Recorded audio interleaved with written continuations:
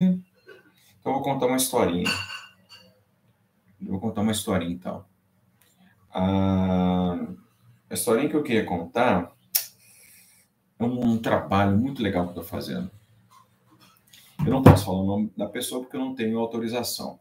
Mas olha só o que aconteceu, uma coisa muito interessante. Tem, eu trabalho num lar de idosos. Já esse é o sexto ano que eu trabalho num lar de idosos. E desde quando eu comecei a trabalhar lá, tem uma tem umas senhoras que sempre frequentam a minha aula. A minha aula lá não é uma aula tradicional, é uma aula completamente dinâmica, a gente faz muitos trabalhos, a gente faz um monte de atividade, mas a interação que eu tenho com os idosos é uma coisa muito diferenciada. Eu utilizo o tempo que eu tenho lá para conversar com os idosos, para trazer alguns conhecimentos deles à tona, enfim. O que que acontece? Tem uma senhora que tem Parkinson e ela está esquecendo das coisas. Ela é uma pessoa muito extremamente inteligente e ela tem consciência de que ela está perdendo memória. E aí o que a gente está fazendo atualmente é um trabalho cotidiano para que atrase a perda de memória dela. E como que é interessante, é, como a memória, a memória, ela traz dignidade para as pessoas, como que o conhecimento de quem a pessoa é depende da memória que a pessoa tem. Principalmente depois de uma certa consciência. Porque quando você é criança, você tem memória ali de quase nada, né? É quase instintivo. Mas quando, à medida que o tempo vai passando, você vai acumulando memórias. E aí, sem memória, a pessoa não consegue é, saber quem é. É. E não sabendo quem é, a pessoa ela começa a entrar num, num estado de desligamento da realidade. E aí, portanto, o conhecimento histórico ele tem uma importância fundamental na manutenção da dignidade das pessoas.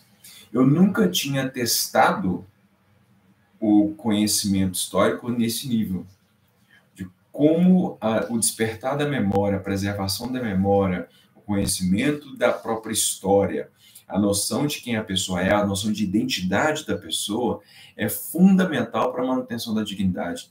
E aí o que ela me disse hoje, uma coisa muito interessante, que assim, professor, tá muito difícil. Tá, reza por mim, ela é freira, né? E aí ela falou assim, reza por mim, professor, me, me, é, lembra de mim nas suas orações, porque eu tô tá cada vez mais claro para mim que eu tô me desligando. E aí o que mais eu lamento é que eu vou daqui a pouco não vou lembrar mais quem são as pessoas, não vou lembrar quem sou eu. E vou esquecer das pessoas. E aí eu lamento pela questão da minha é, da, da, da, higiene, da minha dignidade como pessoa. Então isso me tocou muito profundamente hoje. E aí é, a gente não valoriza determinadas coisas que a gente tem porque parece que é natural, né? Mas não é, cara. É, a questão da memória é uma, algo fundamental como preservação da dignidade. É, enfim, quem é você? Summer Random Dude. Dude. É, eu estou aqui disposto para responder alguma questão. Tá? Acabei de contar uma história aqui, mas enfim. Mas aí eu perguntei para alguém se alguém tinha alguma pergunta. Ninguém tem, então eu vou. Opa, Gabriel, tudo bem? Agora tem 787 Gabriéis que eu conheço. É, só Gabriel não consigo saber quem que é. E aí tem que saber, tem que identificar melhor. Qual Gabriel de. É, Gabriel Cunha. Ah, sim, muito bem, muito bem. Tem alguma pergunta? Eu estou aqui à disposição. Pra, eu tô, na verdade, estou fazendo um teste para ver se isso aqui ia funcionar. Parece que está funcionando. E aí eu contei uma historinha, mas enfim, se tiver alguma dúvida, eu posso responder aqui agora. Se não, eu vou eu ia encerrar com cinco minutos, já, já tem quase 13 minutos de conversa aqui. Conversa no monólogo que eu estou fazendo esse monólogo. Se tiver alguma pergunta, eu posso responder. Se não, eu vou encerrar. Vou ficar aqui até 15 minutos. Mas eu acho que não vai aparecer mais ninguém, não. Teve no máximo três pessoas aqui e, e foi legal, foi interessante. Vou fazer isso mais vezes. Vou fazer isso mais frequentemente, assim, para dar aula. Espero que dê certo, né? Vamos ver se vai dar certo. É, alguma questão, alguma dúvida, algum comentário, alguma coisa? Nada, né? Tá vencendo, mais um minuto e meio. Opa, apareceu aqui. Beleza. Muito bem, Carolina. Carolina. Muito bem. Assista lá os vídeos, é, bastante. Se tiver alguma dúvida, é só mandar. Tem, atingiu o número máximo. Olha, estou impressionado com a audiência. Quatro pessoas. Quatro pessoas entraram aqui na live. E aí, é, para. É, enfim, se tiver alguma questão, eu posso responder aqui com todo prazer, porque é uma questão totalmente teste, tá? Estou testando essa ferramenta aqui para ver se vai dar certo e está rolando. O Gabriel não tem nenhuma dúvida. É, e cinco pessoas. Opa, estou me animando, hein? Cinco pessoas, cinco pessoas aqui presentes. Olha que esse público está bacana demais, hein? Vamos ver se alguém mais aparece. Alguém tem coragem, uma ousadia de me fazer uma pergunta. Porque se fizer uma pergunta, eu vou ficar extremamente. Opa! Ah, apareceu uma pergunta as leis radicais. Ixi, leis radicais? Será que você está se referindo às leis de Jim Crow ou à reconstrução radical? Bem, a reconstrução radical é um período é, pós a Guerra Civil que, dos Estados Unidos, que é basicamente a intervenção dos, dos estados nortistas sobre os estados do sul. É, e é isso, reconstrução radical para impedir que o Sul se revoltasse novamente, que se separasse novamente, ao mesmo tempo que previa é, ou que tentava evitar novas revoltas. Tá? Nesse período da reconstrução radical, o povo, é, principalmente os ex-escravizados, é, tiveram, não massivamente, mas em alguma medida tiveram acesso a alguns direitos. Mas esses direitos todos foram revogados quando acaba a reconstrução radical. E aí, portanto, começa a, um período é, pós-reconstrução é, radical, que é o período da segregação racial, e onde, quando eles criam, por exemplo, as leis segregacionistas, as leis conhecidas também como leis Jim Crow, que previa a discriminação deliberada de negros. Os negros não poderiam frequentar os mesmos lugares que os brancos, os negros não poderiam frequentar os restaurantes dos brancos, as escolas, eles eram é, escanteados, eles eram marginalizados, segregados, separados. Né?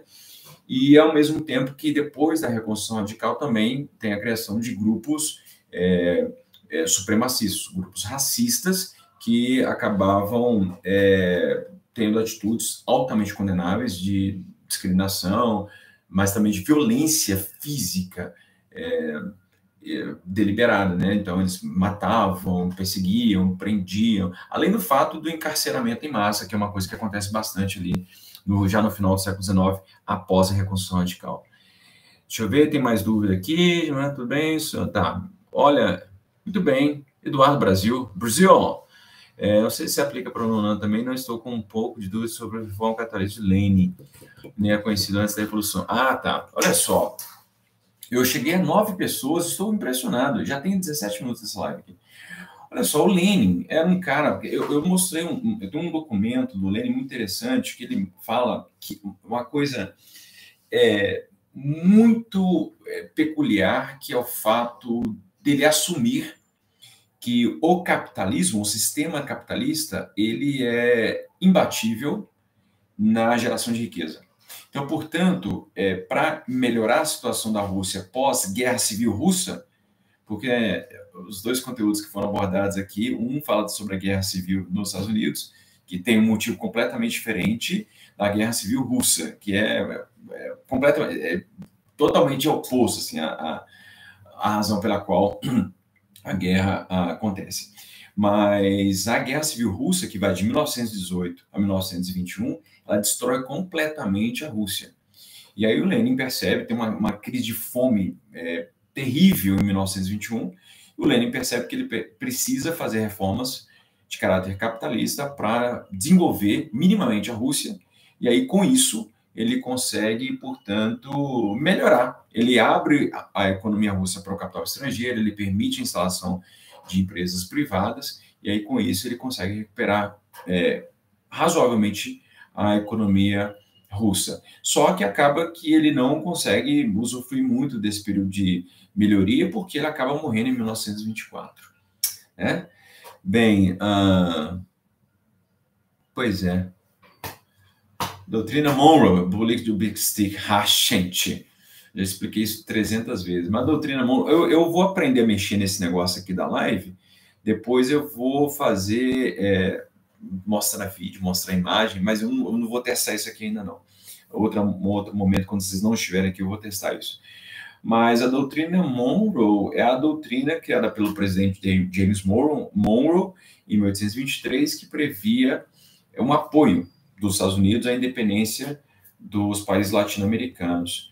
E essa doutrina pode ser sintetizada no lema América para os americanos. Já a política do Big Stick é a política é, de ação de intervenção do, dos Estados Unidos sobre os países latino-americanos, que vai ser mais comum ao longo do século XX. Né? A política, a doutrina Monroe é uma coisa ali do século XIX, né?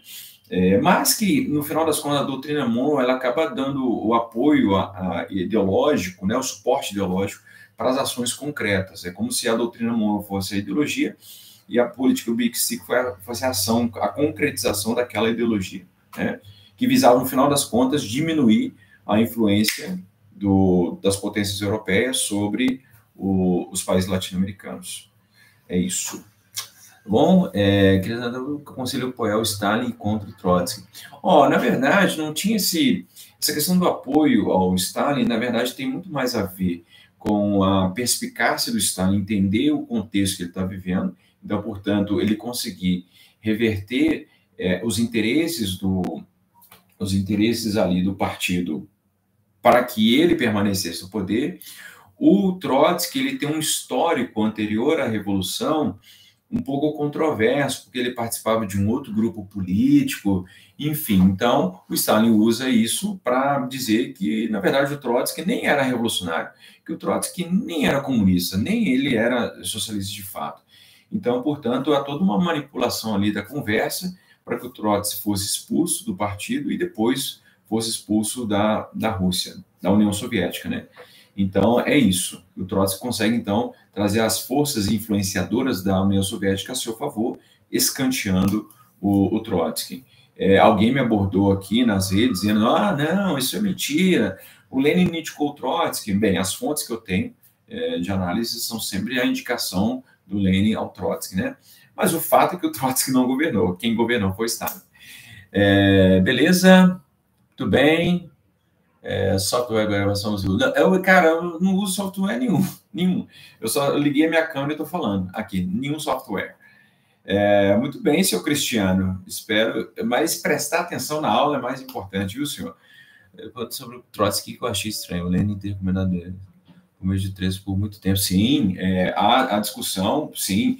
A, a discussão ideológica, ela é fundamental no, em todo e qualquer, em todo e qualquer é, escopo teórico, tem muita discussão.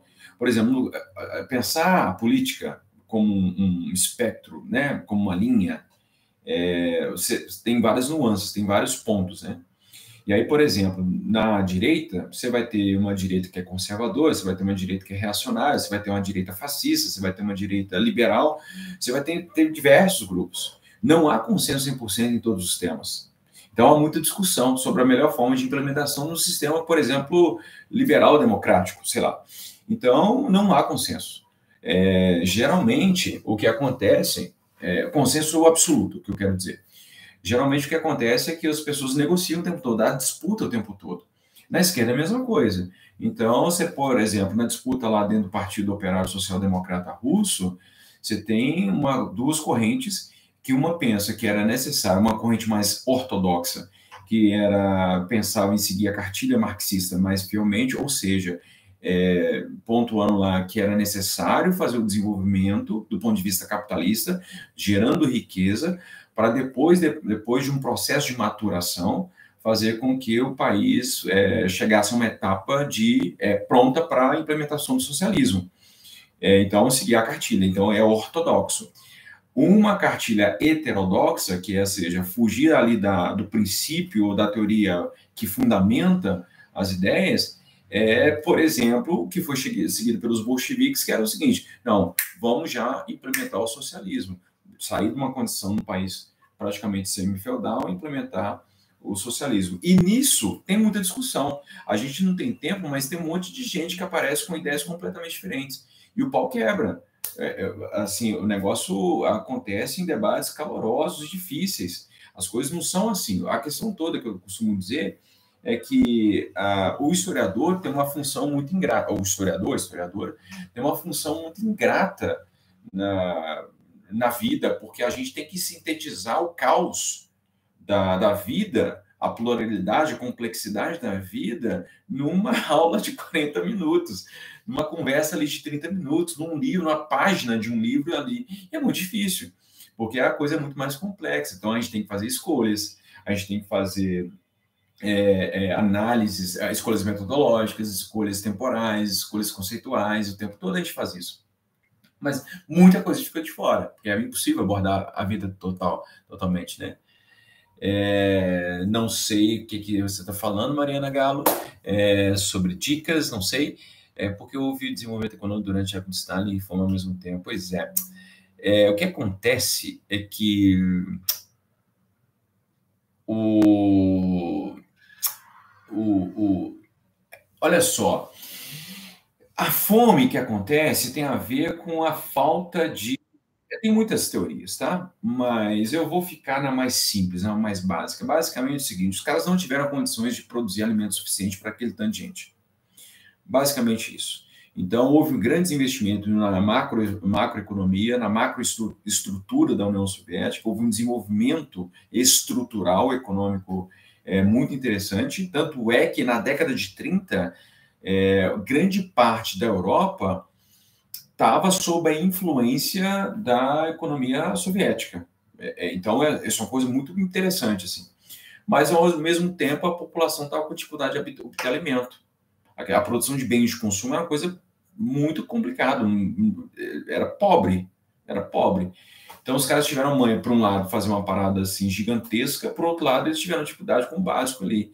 Então, essa contradição, que é uma contradição, na verdade, de todo e qualquer sistema. É, porque, por exemplo, as pessoas falam sobre o nazismo. O nazismo, ele quando há uma recuperação econômica depois que o Hitler toma o poder, mas é um estrangulamento da, da, da economia para que ela fosse direcionada à produção de armamentos. Então, por exemplo, é, tinha gente ali que fazia coisa interessante, mas é uma conta que não fechava a longo prazo. Só que a guerra estourou e aí o troço ficou bagunçado. Mas a longo prazo o troço não fechava. Mas não, a gente nunca também vai saber como que efetivamente vai ser, ou seria, porque é, a guerra estoura. É, mas, então, tem um planejamento ali que é equivocado, que é investir grande parte da, da energia e da produção para a guerra. Mas, por um tempo, por um tempo, as, as apostas econômicas, elas fazem sentido. Mas a longo prazo você precisa de sofisticação tecnológica, você precisa de planejamento, você precisa de conhecimento, de experiência, precisa ali de testar o que você produz é, e melhorar a sua produção. Você vai passar por prova o tempo todo. A vida humana é muito dinâmica, né? Então a gente não chegou a esse teste. Quando precisou ser testado, por exemplo, a tecnologia que foi criada no mundo soviético para a produção de alimentos, cara, não, a conta não fechou. Então, depois eles vão conseguir corrigir o negócio, mas sempre vai ficar alguma coisa capenga, né? É, a questão toda é o seguinte: do os sistemas né, que vai, vão entrar em confronto depois da Segunda Guerra, que é o capitalismo e o socialismo, eles, é, como o capitalismo venceu essa guerra e sepultou o socialismo, o, o, você, tem a, você tem o discurso da vitória, o discurso do vitorioso, aquele modelo que, é, que se impõe, né? mas é todo qualquer modelo econômico, todo qualquer, qualquer modelo político econômico é passível de ser avaliado, né? E essa avaliação você consegue indicar ali problemas, limites, enfim. Mas é isso. Deixa eu ver, uh, não sei, isso eu não posso falar, tal, não, não, é, é coisa, ah, nomenclatura. Nomenclatura, basicamente é o seguinte, é aquele grupo de comissários que fazia parte do governo. A nomenclatura era aquele grupo ali que ajudava o Stalin a governar. E aí, essa, é, esse grupo é um grupo que tem privilégios, ele tem cargos, tem poder, enfim. É, mas é um grupo que está ali usufruindo de coisas que o restante da população não usufrui. E aí, bem, basicamente é isso. É, tá. Tá. Eu vou. Tá, o fuzilamento, né, da família real. Bem, acontece o seguinte: a família real, é, a morte traumática da família real é uma coisa que fica para a história como uma espécie de trauma mesmo, né? Mas, assim, é basicamente a família real, é, a existência dela poderia representar uma ameaça ao governo revolucionário, né? Então, eles mandam matar, então, enfim. Agora, por, por, da, por parte do Nicolau II, teria houve a possibilidade dele sair da Rússia, não quis, enfim, porque havia aquela esperança.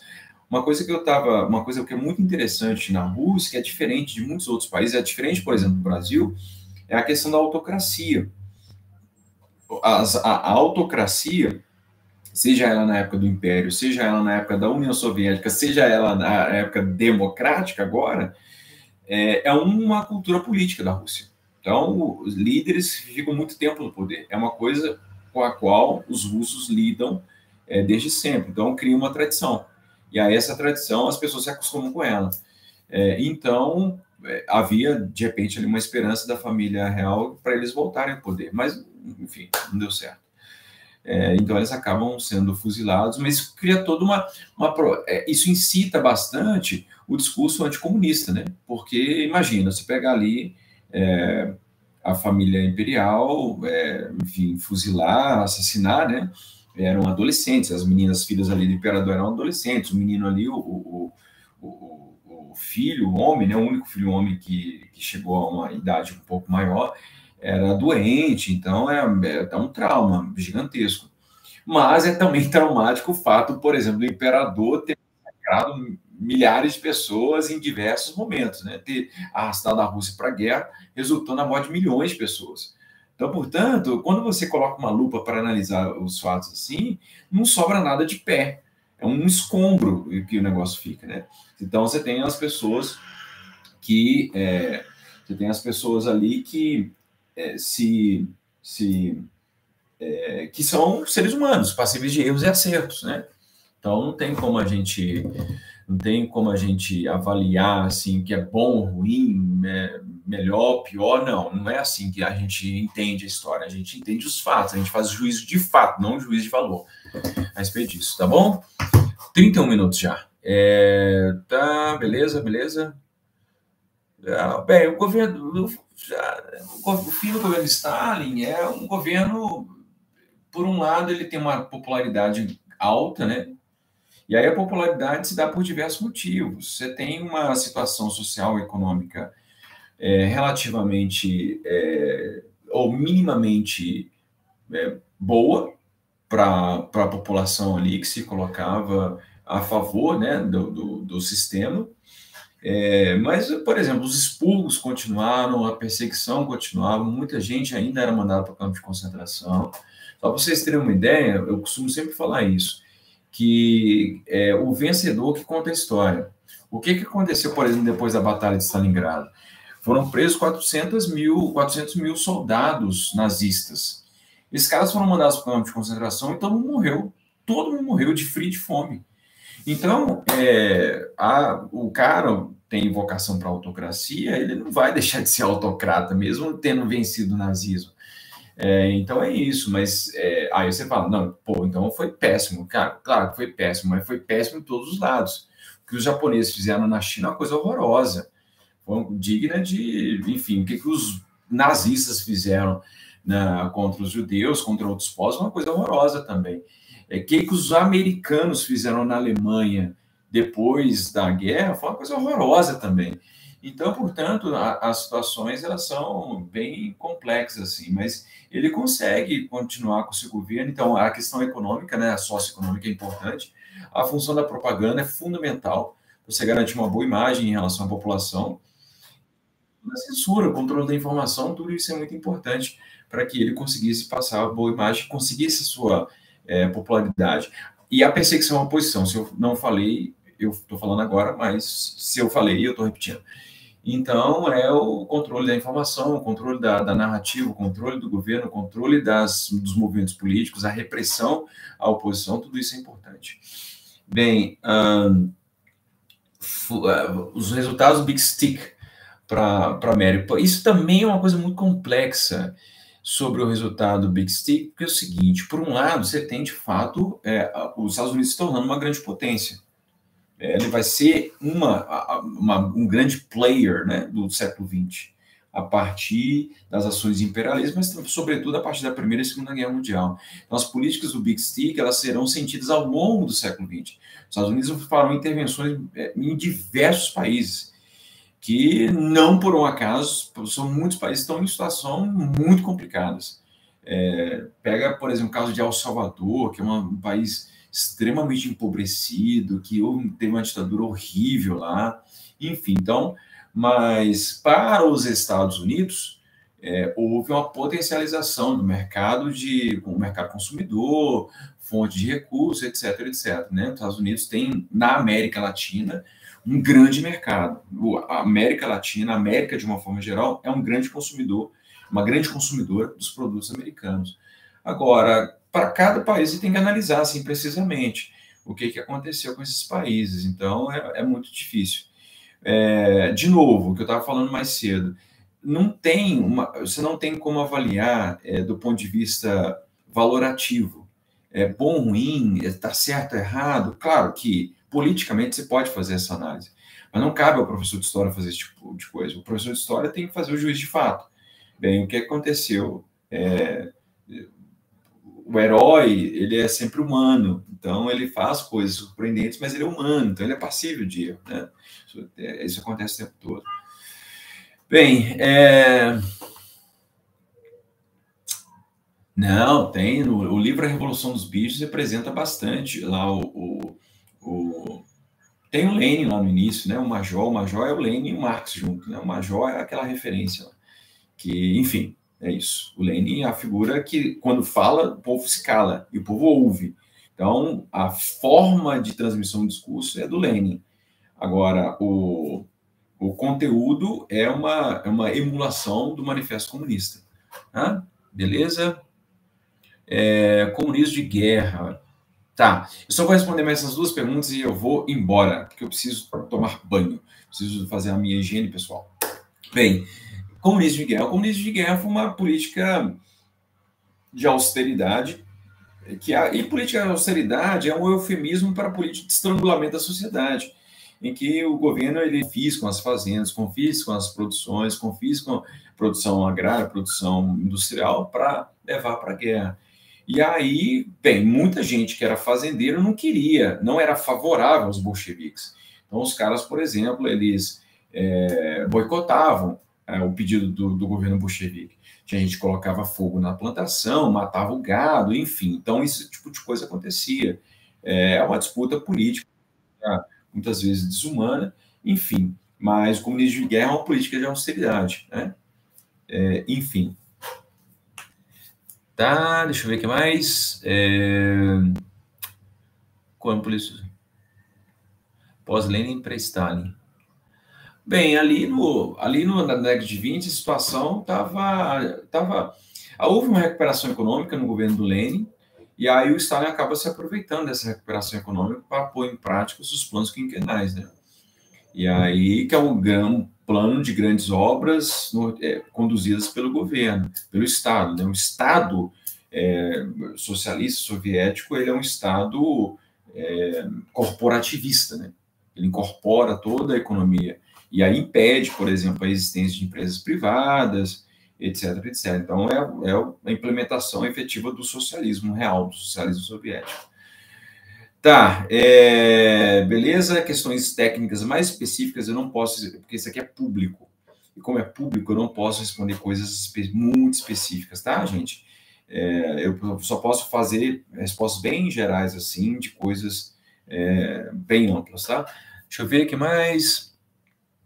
Ah, tá. Ô, Carolina, já respondi muita pergunta sua. Deixa eu responder aqui, ó. O de Reis. Oh, tudo cai, tudo cai, é, tudo cai. A cor de reis, o acordo de reis, na verdade, é um acordo que os, os, os, os federalistas do, do Sul fazem com Rutherford Reis para que ele é, acabasse com a, com a, com a reconstrução radical. E isso vai dar certo, né? A reconstrução radical vai acabar. Então, com a eleição do Rutherford, ele termina. E aí o negócio degringola, né? Que aí a situação, principalmente social, da população afro-americana degringola terrivelmente, de forma desumana. É, é, muito triste o que acontece com, com os americanos, os afro-americanos, né?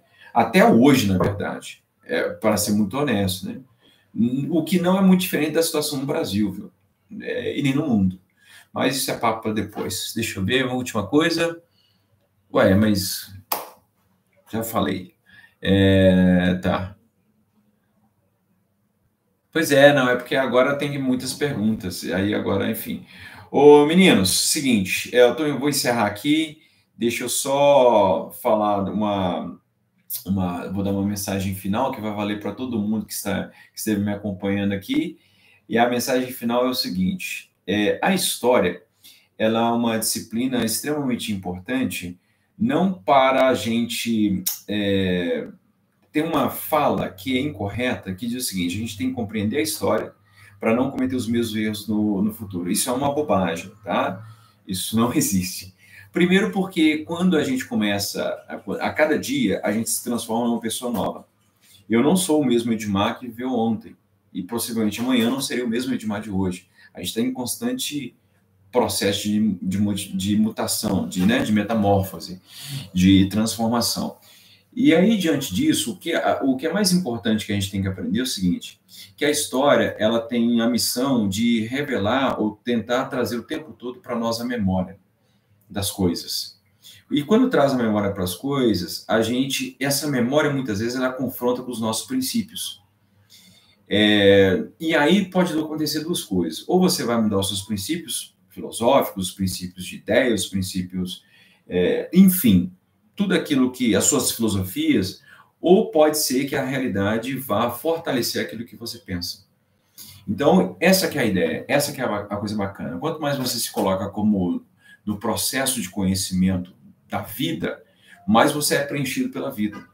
E esse preenchimento da vida faz com que você tenha uma visão sobre o mundo melhor. Então, é essa a questão. Então, todas as questões que a gente discutiu, que eu discuti com vocês, que eu trabalhei, tudo isso faz com que a gente avalie por meio desse instrumento fornecido pelo ensino de história para a gente se tornar pessoas melhores. Basicamente é isso. Tá bom?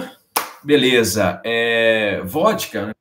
Vodka não, gente. Vodka, vodka, o povo bebia muita vodka, bebia muito. É, vamos melhor para você. Tá. Ô, gente, um beijo para vocês. É, já começamos a entrar aqui numa várzea.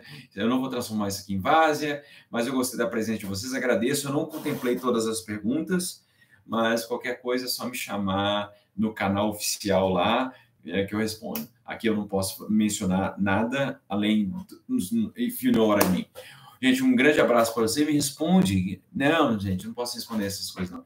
Gente, um beijo para vocês. Fiquem com Deus e até a próxima, gente. Tchau.